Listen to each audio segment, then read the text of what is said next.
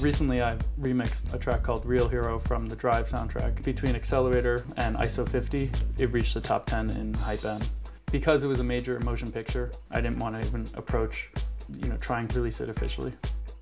But now with Legitmix, I can, by giving my fans the ability to recreate my remixes with their own copies of the tracks I sample with just a few mouse clicks. If they don't have the sample tracks, they can buy them from Legitmix or online stores like iTunes. Fans can scan their music libraries, so they just have to buy the sources they're missing. You and your fans can embed the Legitmix widget on Facebook, blogs, and tweet a custom link. The track I sampled will also be available to preview and buy.